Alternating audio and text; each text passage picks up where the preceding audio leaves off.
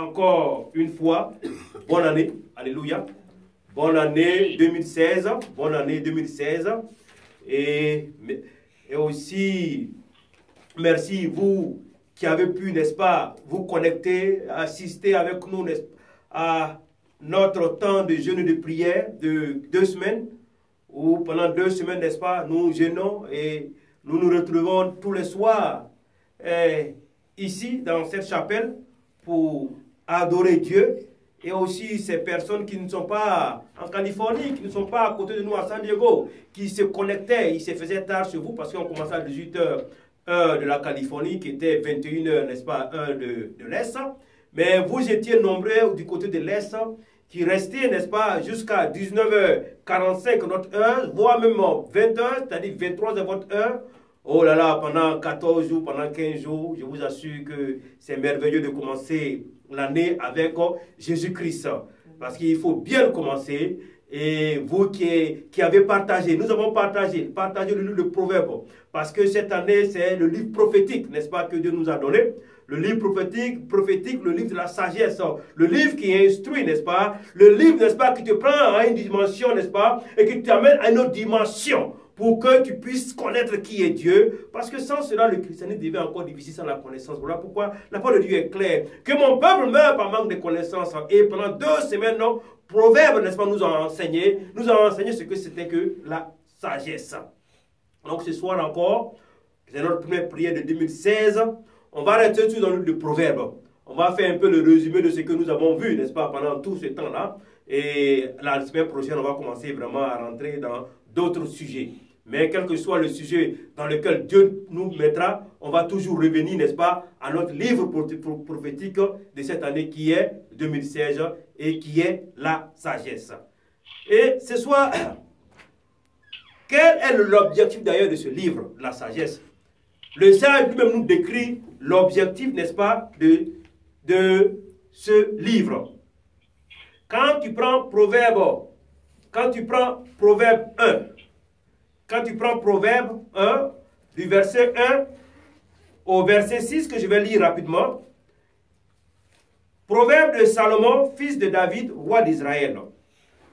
Pour connaître la sagesse de l'instruction, pour comprendre les paroles de l'intelligence, pour recevoir des leçons de bon sens, de justice, d'équité et de droiture, pour donner aux simples du discernement, aux jeunes hommes de la connaissance et de la réflexion, que le sage écoute et il augmentera son savoir, et celui qui est intelligent acquérera de l'habilité pour saisir le sens d'un proverbe ou d'une énigme, des paroles des sages et de leurs sentences. Amen. Pour vous dire que voici l'objectif. C'est-à-dire cet objectif qu'on peut résumer, n'est-ce pas? C'est pour nous faire rentrer dans une autre dimension. Pour ne pas que nous soyons dans, ce, dans, ce confort-là, nous venons à l'église et nous sortons sans rien. Parce que quand tu es même à l'école, dans une école, à l'université, même pas à l'université, au lycée, au lycée, et que tu vas en classe sans comprendre ce que tu es en train de, sans comprendre ce que tu es en train d'étudier, je t'assure que l'année devient, l'année devient très longue et le découragement vient et beaucoup de personnes, n'est-ce pas, drop, n'est-ce pas, c'est-à-dire euh, abandonnent l'école. Mais vous allez constater, comme vous, vous allez constater avec moi, que le sage commence avec quelque chose de très important. Et c'est la base et c'est le fondement, n'est-ce pas, de la sagesse. C'est le fondement du christianisme. C'est le fondement, n'est-ce pas, de tout ce qui nous traverse, qui est en nous chrétiens. Il dit, commence par le chapitre, le, chapitre 1, toujours au verset 7, il dit La crainte de l'éternel, le commencement de la, de la science. Alléluia. Il y a des gens qui font du bruit, si on peut les mettre sur mute. Amen. Il dit La crainte de l'éternel est le commencement de la science. Est le commencement de la science. La crainte de l'éternel est le commencement de la sagesse le commencement de tout.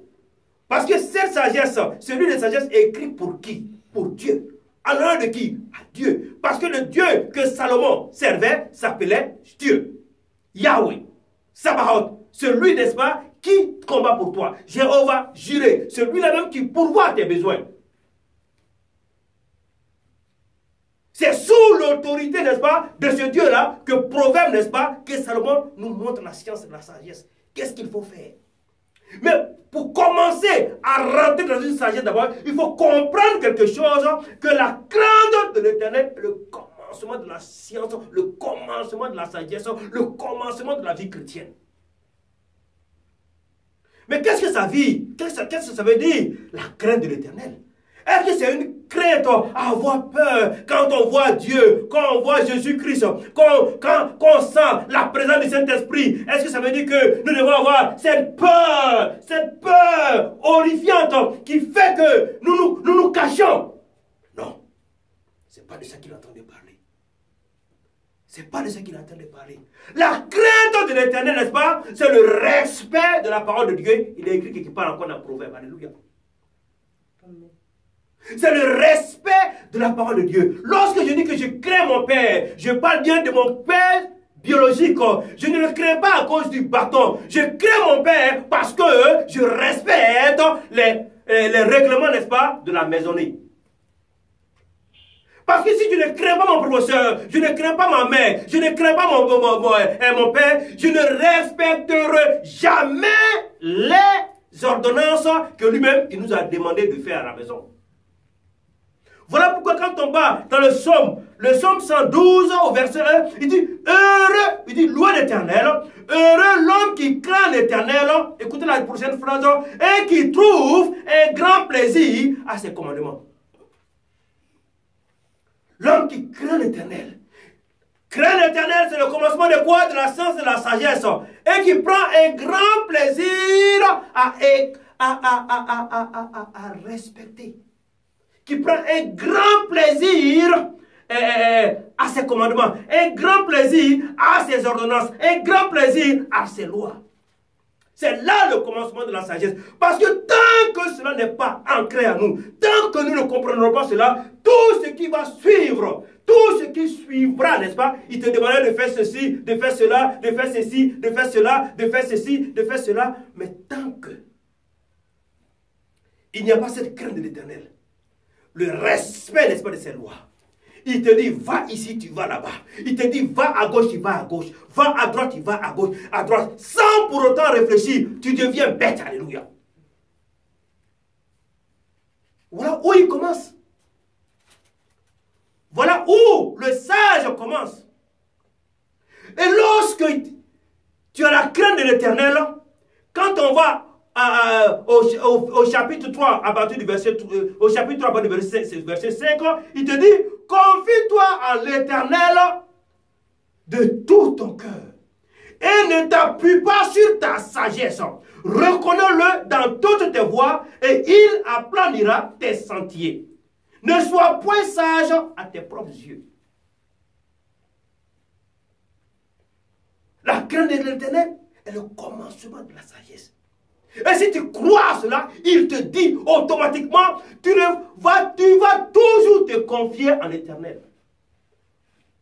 En 40 minutes, tu ne pourrais même pas faire la moitié, n'est-ce pas, même le 1 quart, n'est-ce pas, du résumé de, de proverbes.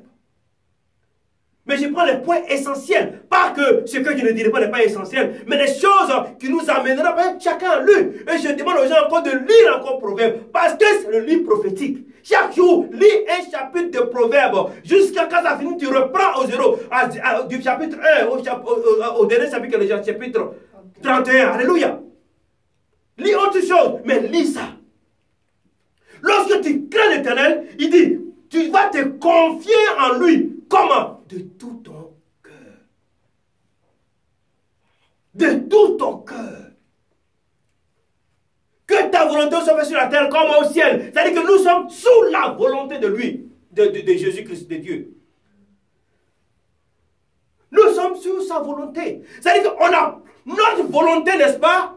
Notre volonté est soumise à la volonté de Dieu. Lorsque ta volonté est soumise à la volonté de Dieu, automatiquement, la crainte de Dieu devient pour toi le commencement de la sagesse automatiquement, tu auras cette confiance, cette confiance véritable, cette confiance absolue. Pas cette confiance, j'ai confiance en Dieu, mais quand il y a le problème, tu as peur. Mais tu auras cette confiance absolue en Dieu. Et tu ne t'appuieras plus jamais sur ta propre sagesse. Qu'est-ce que ça veut dire? Sur ta propre analyse des choses sur ta propre science, sur ta propre connaissance, parce que tu es piégé, parce que tu es smart, tu es tellement intelligent, n'est-ce pas, que tu fais de ces dissertations et quand on les lit, tout le monde dit waouh. Mais à côté de la sagesse de Dieu, à côté de la sagesse, de l'intelligence de Dieu, tu es nul. Voilà pourquoi il dit ici, ne t'appuie pas sur ta propre sagesse. Romain 1 nous le dit. Romain 1 nous le dit que le monde reconnaît qui est Dieu. Le monde sait que Dieu est Dieu. Mais le monde s'appuie sur sa propre sagesse. Voilà pourquoi le christianisme devient difficile. Voilà pourquoi nous n'arrivons pas, n'est-ce pas, à rentrer dans ce dont Dieu nous a donné déjà. Il nous a tout donné. Sur la croix, il t'a tout donné. Mais pourquoi tu n'arrives pas à rentrer? Parce que tu crois souvent que tu es sage. Tu t'appuies souvent sur ton intelligence. Tu n'as plus de discernement. Le discernement qui sort à nous, n'est-ce pas? Au lieu que ce discernement vienne du Seigneur, le discernement vient de notre propre sagesse. Voilà pourquoi il est difficile pour que nous puissions arriver à une autre dimension. Au, chapitre, au verset 6, chapitre 3, il dit Reconnais-le dans toutes tes voies et il aplanira tes sentiers. Reconnais-le dans toutes, dans toutes tes voies et il aplanira tes sentiers. Lorsque tu te réveilles le matin, sais-tu que c'est lui qui a permis que tu te réveilles? Dieu. Lorsque tu appliques pour un emploi, sais-tu que c'est lui qui permet que tu aies cet emploi Lorsque tu as la crainte de l'éternel, lorsque tu perds un travail, sais-tu que c'est Dieu qui permet que tu perds ce travail? Voilà pourquoi on doit le bénir en tout temps. Jacques nous le dit. Quand tu es dans la joie, prie, chante. Quand tu es dans les malheurs, prie, chante. Au verset 7, ne sois point sage à tes propres yeux. Ne sois point sage comment À tes propres yeux. Amen. Et lorsque nous lisons la sagesse,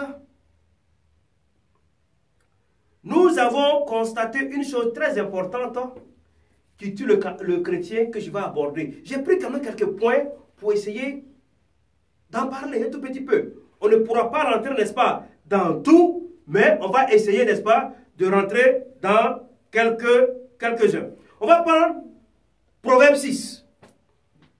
Proverbe 6, ou à partir du verset, à partir du verset 6, où il nous décrit la paresse. Alléluia.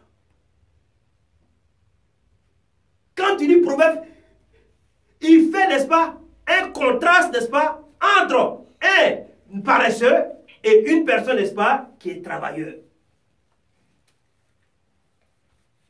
Maintenant, il écrit à partir du verset 6, va vers la fourmi, paresseux. Il s'adresse à tout le monde. Hein. Va vers la fourmi, virgule, toi, paresseux. Il parle à tout le monde.